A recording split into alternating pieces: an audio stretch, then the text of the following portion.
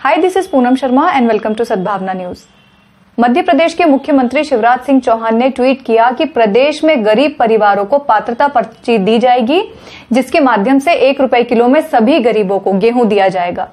प्रदेश में कोई गरीब भूखा न रहे, गरीब की थाली कभी खाली न रहे जिनकी पात्रता पर्ची नहीं बनी हो एक एक की पात्रता पात्रता पर्ची बनवा दो हर एक को एक रुपया किलो गेहूँ दिया एक रुपया किलो का गेहूँ दिया जाएगा कोई बात सबसे कम नहीं रहेगा अरे गरीब की खाली कभी रहेगा खाली कोई भूखा नहीं सोएगा। इस पर प्रतिक्रिया देने के लिए हमारे साथ जुड़ रहे हैं कांग्रेस के नेता भास्कर जोशी और बीजेपी के नेता अनुपम पोरवाल। देखिए क्या कहते हैं। आज मैंने आदरणीय मुख्यमंत्री जी शिवराज सिंह चौहान जी का ट्वीट पढ़ा। उसमें उन्होंने कहा है कि गरीबों को एक रुपये किलो में गेहूँ, चावल, खाद्य सामग्री मिलेगी। ये बहुत ही अच्छी बात है। ये तारीफ़ की बात है उनके लिए कि वह एक रुपये किलो में गेहूँ, चावल की खाद्य सामग्री गरीबों को देंगे। पर मैं आपको बताना चाहूँगा कि उनकी जितना जितनी भी घोषणाएँ होती है, सिर्फ़ कागज़ पे ही रह जाती है। वो आम जनता तक पहुँच ही नहीं पाती।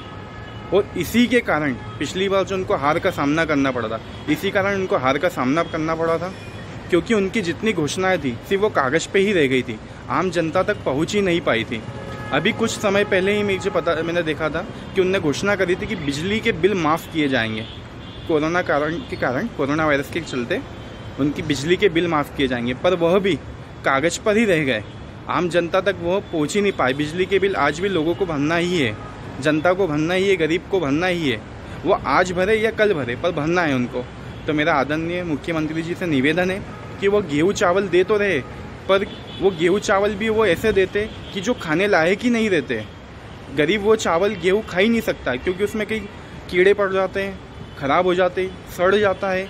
तो मेरा आदरणीय मुख्यमंत्री जी से निवेदन है कि वह दे तो अच्छे दे, आम आदमी के खाने लायक दे, गरीब खा सके, उसको ऐसे दे। माननीय श्री शिवराज सिंह जी चौहान ने अभी एक रुपये किलो में जो गरीबों की सेवा करी है, बहुत ही अच्छा काम करा है और आगे करते रहेंगे। और गरीबों के लिए अभी जो दस हज़ार की यो योजना चलाई है, बहुत ही अच्छा काम करा है। और हमारे जो नरेंद्र नरेंद्र मोदी जी जो हैं, और उनने तो बहुत ही अच्छा ने लॉकडाउन में भी पूरा लोगों को बहुत अच्छा भी बताया है, सब कराया है। और अभी भाजपा की तरफ़ से तो हमें बहुत कुछ चीज़ें ऐसी आ रही है, जो भी लॉकडाउन में भी इन्हें बहुत यूज़ करी लोगों ने, उसको इन्हें अच्छे से बनाया और स्वच्छता में बहुत ध्यान रखा है लोगों ने बहुत ही अच्छा काम करा है। और शिवराज सिंह जी चौहान ने जो अभी लॉकडाउन में जो ये गरीबों का जो करा है वो भी बहुत अच्छा करा है। और मैं तो यही चाहूँगा कि भाजपा ने जो काम करे हैं आज तक जितने भी काम करे हैं जो जो काम करे हैं सब बहुत ही अच्छे करे हैं। और इसकी मैं अपेक्षा करता हूँ कि आगे और बढ़ते रहे और चलते रहे। Powered by Arthros Clinic, a dedicated center for arthroscopy and sports.